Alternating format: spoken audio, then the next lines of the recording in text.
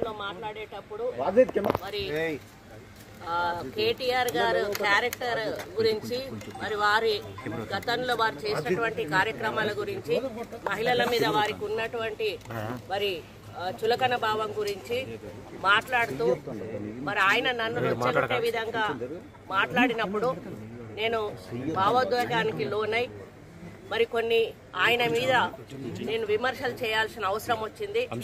ఆ సందర్భంలో నాకు ఇంకెవరి మీద కూడా వ్యక్తిగత ద్వేషం కానీ మరి వ్యక్తిగత కోపం కానీ లేదు.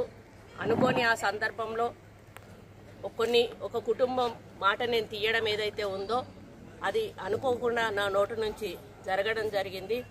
ఆ తర్వాత వారి ట్వీట్ చూసిన తర్వాత నేను కూడా చాలా బాధపడ్డాను.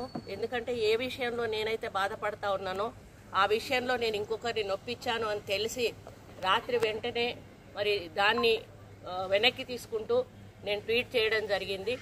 కాబట్టి నాకు జరిగిన అవమానం నేను పడ్డ బాధ ఇంకొకరు పడకూడదు అనేటువంటి ఒక ఆలోచనతోటి నేను బేషరతుగా దాన్ని వెనక్కి తీసుకోవడం జరిగింది. కానీ కేటీఆర్ విషయంలో మాత్రం తగ్గేది లేదు. ఆయన తప్పనిసరిగా క్షమాపణ చెప్పాల్సిన అవసరం ఉంది.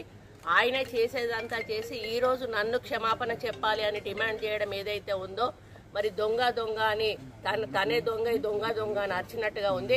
ఆ విషయంలో మాత్రం ఎట్టి పరిస్థితుల్లో కూడా వెనక్కి తగ్గేది లేదు. అంటే కేటీఆర్ డిఫర్మేషన్ వేశారు కదా కోర్టు. దానికి ఎట్లా పోవాలో మేము లీగల్గా ప్రొసీడ్ అవుతాం.